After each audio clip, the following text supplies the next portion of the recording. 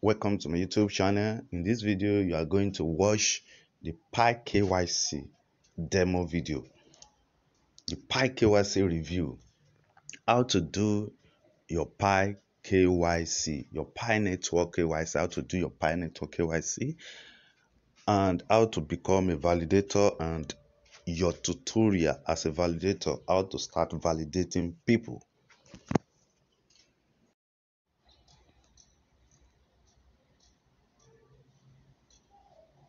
Welcome to the Pi Network KYC solution demo where we'll walk you through how to submit your KYC application.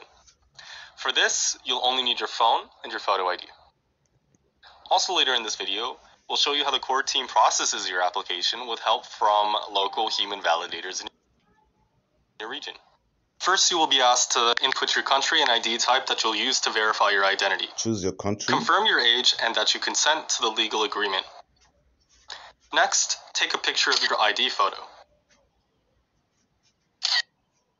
The front and back if your country has it After entering the information on your ID into this form, follow a human liveness test that will instruct you on what actions to take along the way. This simple but important step distinguishes real humans like you Smile. from fake accounts and computer Open scripts that try to hoard pi. At the end of this step, you will also have to take a photograph of yourself within the application. This photograph will be compared against the picture on your ID to check if they represent the same person. In most cases, the computer algorithm is able to recognize all of the text on your ID. Most of the text on the ID is redacted, like what's shown here. In some rare cases, when it is not possible for the algorithm to automatically read the text, the amount of redaction may be reduced to request the assistance of human validators. With this example, we can see how the pictures are also removed from the ID. The pictures are extracted out and will be compared with your selfie by a different validator, and there is no audio in the liveness detection video. In any case, before a human validator sees any of your data, we are showing you exactly how they will appear to them and will only proceed in the KYC application if you consent to share the redacted version of your data to human validators. You can see that in the final step of your application. If parts of your data are not redacted, you can go back and re-upload a clear picture of your ID. How well the machine automation works very much depends on the quality of the photo of your ID document. So, in a sense, if you want to minimize the chance of your personal data being seen by human validators, try to provide the best possible photo of your ID document with good lighting, clear and focused content, and a straight and correct angle. Once you are comfortable with your obfuscated data, press submit and you are now done. Keep in mind that your full ID and data are processed by the servers, and the redacted version is processed by human validators. And that's all you need to do to KYC. Also note that this demo is only the current version of the KYC app and is subject to change and improvements as it's being further developed. Now, if you're curious to know how exactly the KYC validation will be performed, continue watching this video. In this KYC solution, most steps of a KYC check will be performed by machines automatically, including data extraction from documents, data obfuscation, data matching, account name matching, and sanction screening. Human validators will only help with the identity authentication process when machine automation falls short, including. ID type validation, face image comparison, and liveness confirmation to prevent cheating in the KYC process.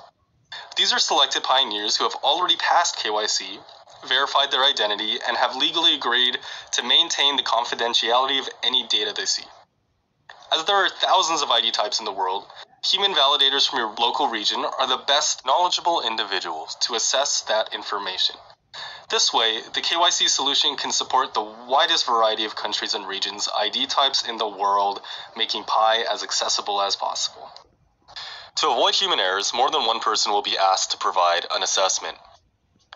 Here, the algorithm decided that validators must verify my ID because it didn't look real enough. So, human validators are asked whether this looks like a real Polish passport ID or not. And Yes. since this is true, as we would know if we were Polish, we yes select is yes. Next, the algorithm needs an assessment on whether the picture on this ID matches the Pioneer As you selfie. see, they are not Well, matched. obviously not, so we respond no. Finally, a human validator may be called to decide if a real living person is applying for ID verification in the liveness test video. No audio is recorded during this test. Also note that each Pioneer contributes one Pi to get KYC'd.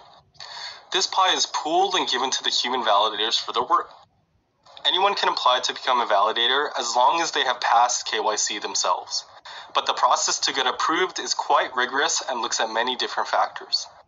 Moreover, even when a pioneer is admitted to the program, they are initially only provisional members, and they can only continue reviewing applications after they prove that their work is accurate and trustworthy.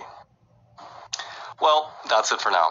This has been a preview of Pi Network's unique KYC process. It allows the Pi community and ecosystem to bootstrap and scale itself without the need of any external services or fiat currency outside of Pi. As always, what do you think? Please send us your feedback in the comments of this video and also in Pi chats. Thanks!